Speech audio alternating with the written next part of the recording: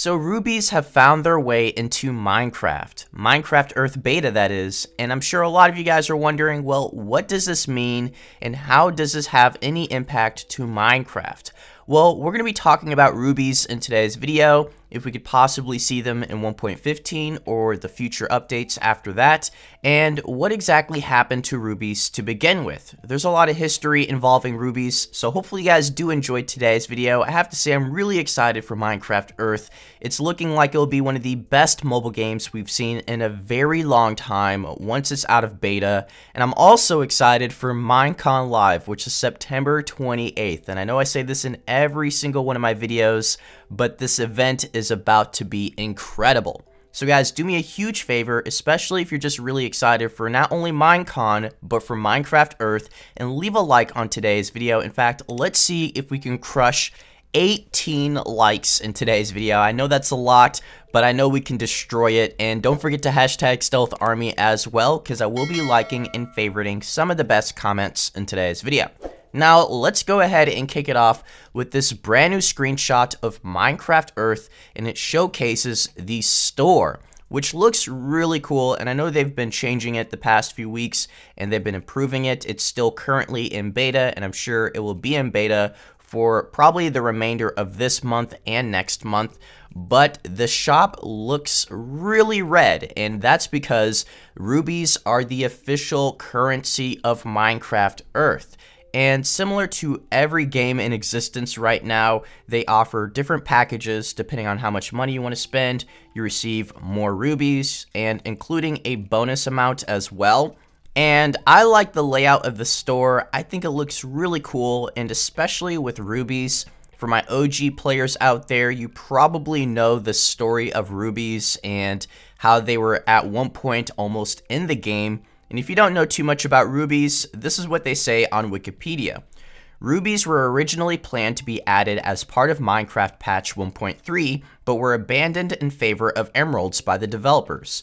Variations of armor and tools crafted with rubies were another idea which could have been incorporated into the update, but those plans were obviously also abandoned when rubies themselves were removed.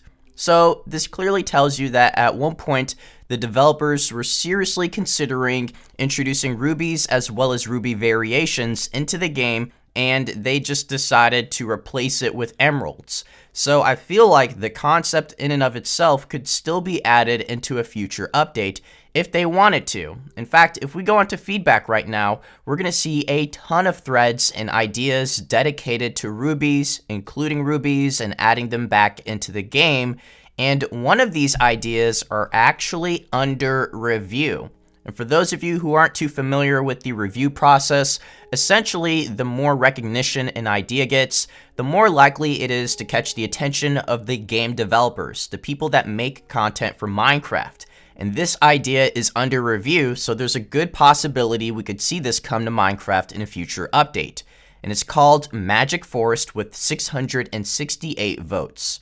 This biome has gigantic trees, flowers, mushroom houses, and a new mob called the Fairy. In this biome, they have secret chests with items such as diamonds, emeralds, new items like rubies, sapphire, and crystals. And like I mentioned earlier, it is under review, so there's a good chance we could see this come in the 1.15 update, maybe the 1.16 update, Either way, there's a great chance we could see this come to Minecraft in some sort of future update. And I'm really excited because I know a lot of you want new ores, you want new gems. I mean, who doesn't want fairies in Minecraft? I'm not sure what they're going to be capable of, if they're going to be friendly or if they're going to be hostile. But either way, I'm just really looking forward to seeing brand new content in 1.15 during Minecon, and I feel like the icing on the cake would be the introduction of rubies into Minecraft and allowing us to access new trades with villagers and hopefully craft new armor as well. Ruby armor is a possibility because let's not forget that emerald armor and weapons are currently under review as well. So a lot of exciting things are happening with the game.